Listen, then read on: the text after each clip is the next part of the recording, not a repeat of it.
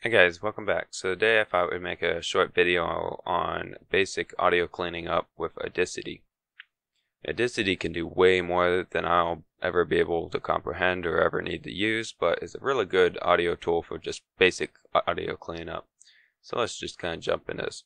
Now, it won't let me be able to show you this, but I had the problem with on Linux. You see right here where you select your recording device if you have it on default and you're getting a lot of clicking or clacking or something of that sort, move it to the actual uh, device, your actual mic, and it will work a lot better. I have a file over here on my desktop of that, and I'll just show you an example of it when it was left on default. At least for me, it was like this. So the quick brown fox jumped over the lazy dog. So if you hear, that was quite you had a lot of like static or something in the background that's a pain to remove. So make sure you set it to your actual device so it removes any of that nonsense. So let me zoom you into Audacity. Now it won't let me play any of our things because we're recording with Audacity. So we're just I got a second recording and I'll actually play that for you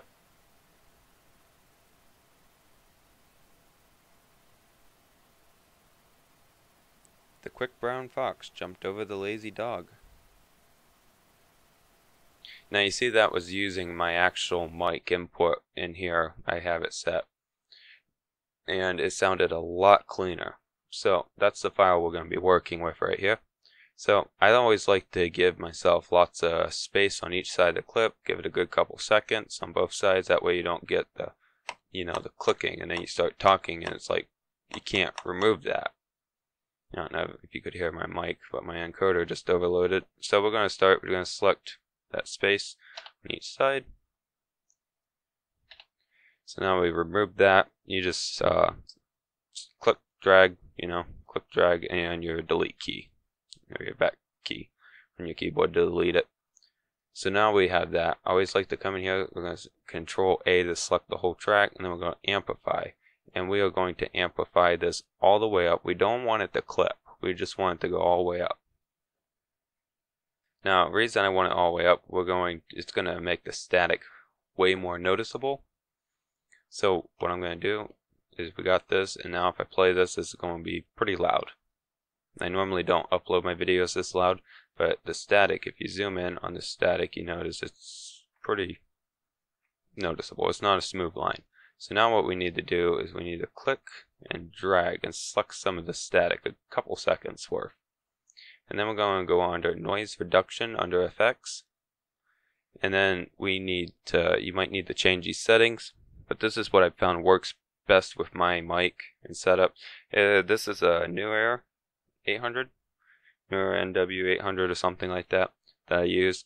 But I set my noise reduction to 38 decibels and sensitivity to 2 decibels and frequency smoothing to 16. These is what works best with my mic. So if you want to copy these down, play with them around from a bit, see what works best with your setup.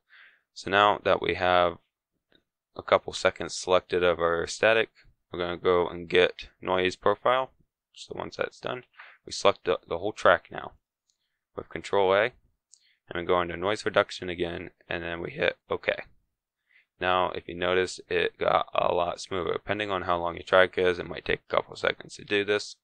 So now that we have the static removed, we're going to select it again and go under Effects, Amplify. And I'm going to set this to negative 1.5 because you don't want it to be all the way up because it'll drive some people nuts. So now we just do that. It'll lower the track. The track did get lower. And now we are going to export this. So just export, it's under File, Export, and I'm going to export as an MP3. I always like to set my quality to insane or what not. And we're going to rename this to 202. And we just hit OK. We mean save. And then we hit OK. So now we got that exported. I'll play this real quick for you. The quick brown fox jumped over the lazy dog.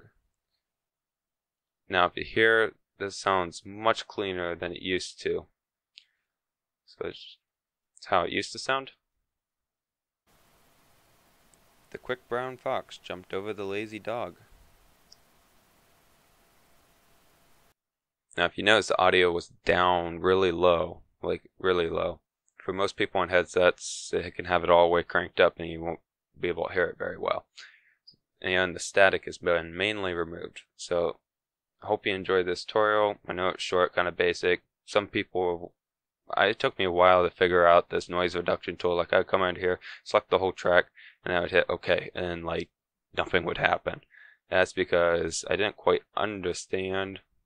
I obviously didn't read this part. so that was my problem. So please don't forget to hit that like button and subscribe. We're trying to get a thousand subscribers before the end of this year. I was trying to hit it mid this year. So you can really help out by subscribing. See you guys later.